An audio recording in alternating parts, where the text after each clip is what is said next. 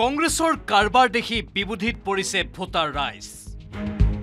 নিৰ্বাচনৰ দিন যিমানেই চমু চাপিছে সিমানেই নিত্য নতুন নাটক দেখুৱাইছে কংগ্ৰেছ দলৰ একাংশই। বিজেপিক প্ৰতিহত কৰিম বুলি হুংকাৰ দি থকা কংগ্ৰেছ দলে নিজেই নিজৰ শত্ৰু হৈ পৰিছে। সমষ্টিয়ে সমষ্টিয়ে কংগ্ৰেছৰ প্ৰাৰ্থীৰ বিৰুদ্ধে বিদ্ৰোহে নিৰ্বাচনৰ প্ৰাক্ষণত বিপদ মাতি আনিছে দলটোলৈ।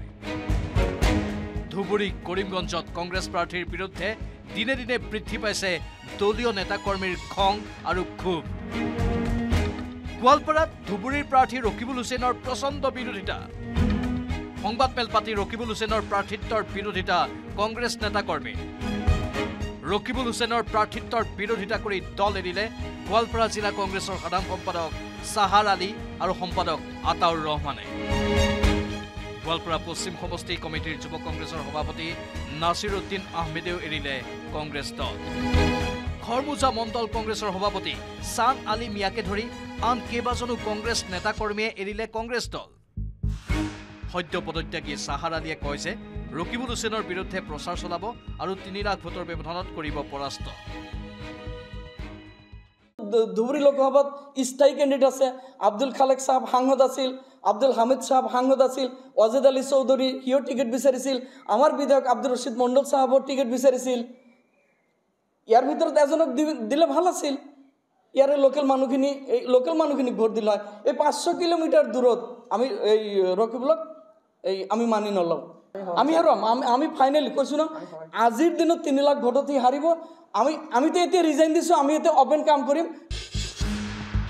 ইপিনে কৰিমগঞ্জৰ কংগ্ৰেছ প্ৰাৰ্থী হাফিজ ৰচিদ আহমদ চৌধুৰীক লৈও কংগ্ৰেছৰ ভিতৰতে তীব্ৰ ক্ষোভৰ উৎকীৰণ ঘটিছে।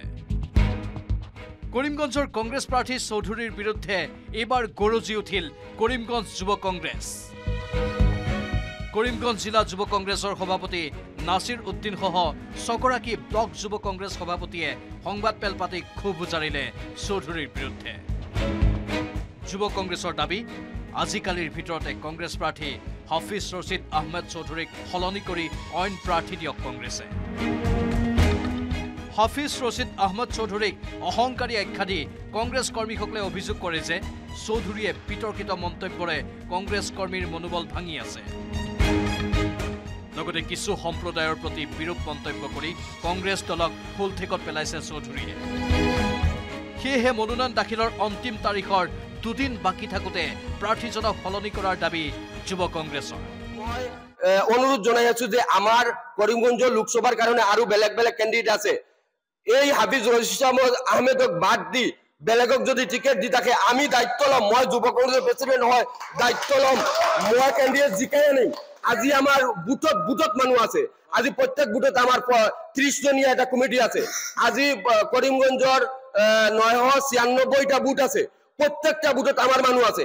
আজি ব্লক কংগ্ৰেছৰ যিবিলাক যিবোৰ কমিটি আছে আপোনালোকে গম পাব এই ব্লক কংগ্ৰেছৰ মনটো বেয়া হৈ আছে। ইপিনে ধুবুৰী সমষ্টিক লৈ পূব গোৱালপাৰা আৰু পশ্চিম গোৱালপাৰা সমষ্টিৰ দুই বিধায়কৰ মাজত চলি আছে বাকযুদ্ধ। লখিমপুৰ গুৱাহাটী সমষ্টিৰ প্ৰাৰ্থীক লৈও দলটোৰ ভিতৰত অসন্তুষ্টি আজিও কমা নাই।